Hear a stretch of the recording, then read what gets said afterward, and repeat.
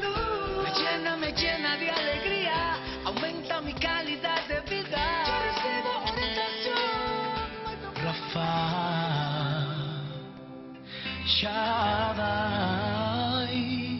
y Adonai. Oh, oh, te adoramos.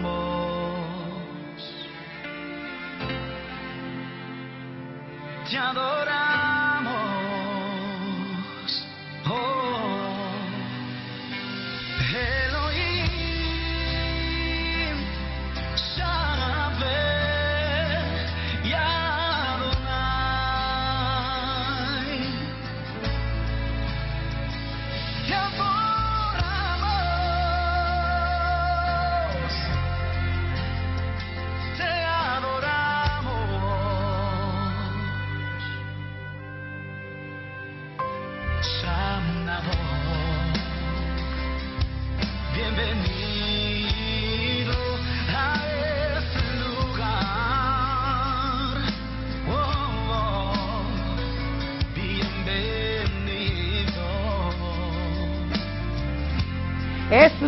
Que me pongo con esa canción, Dios mío, pero mala buena. Cuando yo escucho esa canción de todo lo que tiene Dios para mí, todo lo que es Él, es, el gran yo soy. Él dice, llámeme así, yo soy el gran yo soy. Adonai, Yahvé, Elohim. Yo quiero que ustedes vean todo lo que significa todo esos nombres del Señor en una sola persona. Y yo de verdad, cuando escucho esa canción que la canta mi hermano personal, mi amigo Alex Núñez, que estará, si Dios lo permite, esta noche con nosotros. Oye, yo, yo, a mí se me pone la rodita flojita, flojita, flojita, y caigo así. Es de verdad, de verdad, te lo confieso. Señores, buenas noches, bienvenidos. Esto es a tu salud. Cada domingo, 8 de la noche, cuando el juego me deja. Retransmisión los miércoles de 5 a 6. Bendecida por el Señor, como siempre. Estoy muy contenta, de verdad, porque hoy es vida transformada. Si ustedes se fijan, yo no negocio vida transformada. Yo no negocio, a veces yo tengo invitados, señores, que ah, no pueden venir otro día que no ese día. Y yo digo, déjame ver cómo yo te pongo, porque yo no negocio el, este domingo, tercero del mes, de vida transformada. Porque es tanto lo que Dios se agrada por este trabajo que no puedo dejarlo de hacer. Y recuerden que nosotros invitamos adoradores, invitamos personas cristianas, no importa de qué denominación, de qué iglesia, a darnos testimonios. Hemos ten- tenido todo tipo de testimonios estos domingos y la gente que los escucha dicen, wow, es verdad que Dios cambia, que Dios transforma. Yo conversaba con una persona y le decía que hay gente que toman la decisión de acercarse a Dios por situaciones adversas, otros la toman porque sí, porque quieren ser cristianos, incluso se bautizan, pero no hacen cambios. Toman la decisión de hacer un bautismo, de ir a una iglesia, pero sus vidas no son transformadas. Y por eso que dice la palabra, que nosotros debemos arrepentirnos y oigan, y convertirnos.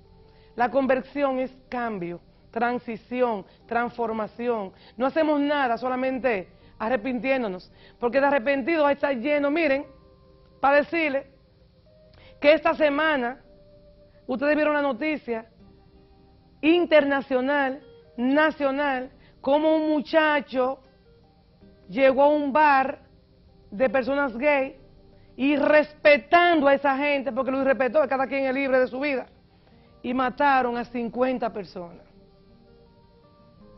Como en la semana, aquí en nuestra ciudad capital, una pareja estaba a la orilla del mar, dicen que quizá discutiendo, la esposa estaba deprimida, ella se tiró al mar a suicidarse y cuando él se tiró a salvarla, murieron los dos.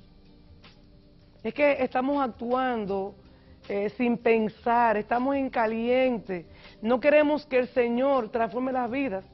Ese sen- y otra noticia también fue, creo que en Santiago, me parece ese muchacho, ¿verdad? Sí, en Santiago, un caballero estaba en casa de su pareja, su novia, la mató, dejando dos hijos en la orfandad, y él se dio un tiro, porque es que después que tú lo haces te arrepientes. Oye, tienes que arrepentirte y tienes que convertirte.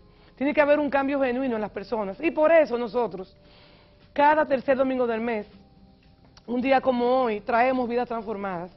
Para que tú te nutras de las experiencias de muchas personas que quizás tuvieron una vida de desorden, una vida de depresión, una vida de pecado, eh, una vida de holgazanería, una vida sin Dios, decidieron arrepentirse, decidieron cambiar y ellos quieren decirte a ti que se puede. Esa es la idea de vidas transformadas.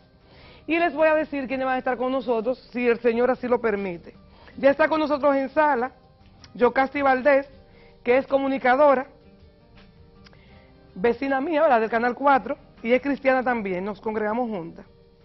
Está Alex Núñez, nuestro adorador, está Neuris Janet, está Ela, que es un grupo que canta, y está Sara Suberbi, que también la tengo por el área de maquillaje.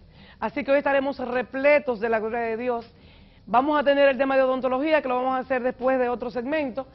Cortito, ¿verdad? Pero es, ustedes saben que es columna, columna básica de este programa. Pero vamos a disfrutarnos esta noche, vidas transformadas. Así que bienvenidos, sus controles lo guardan. Y ahora vamos con la reflexión de la semana.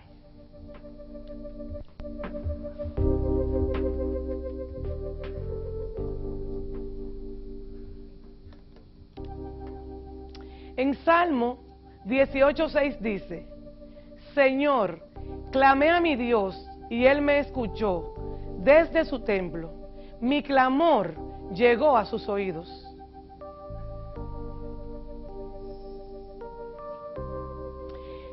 Y dice Santiago 1, verso 6, pero que pida con fe sin dudar, porque quien duda es como las olas del mar agitadas y llevadas de un lado a otro por el viento.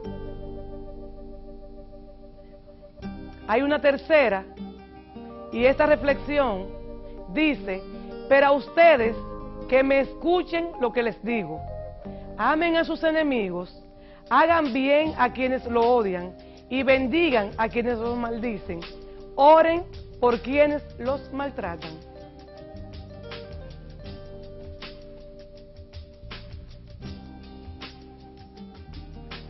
Tomamos tres versos de la Biblia. Todos tienen que ver con clamar. Y con la certeza de que Él nos escucha cuando le clamamos. O sea, dice la palabra que cuando nosotros levantamos un clamor y el pueblo se levanta, Él baja su oído a la tierra y escucha. Algo importante que nosotros vamos a señalar esta noche, porque es esta vida transformada. Nosotros tenemos el primero de julio en los locales de la Asociación Odontológica Dominicana un evento con estos adoradores que estarán esta noche aquí. Y yo estaré con la conferencia como coach espiritual.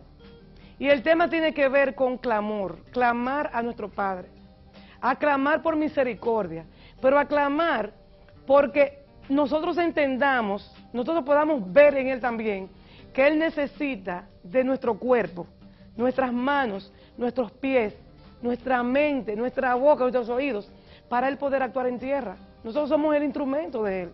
Entonces, Él nos va a dar las herramientas para poder trabajar. ¿Por qué? Porque hay mucha delincuencia, mucho homicidio, mucho suicidio, muchos maltratos.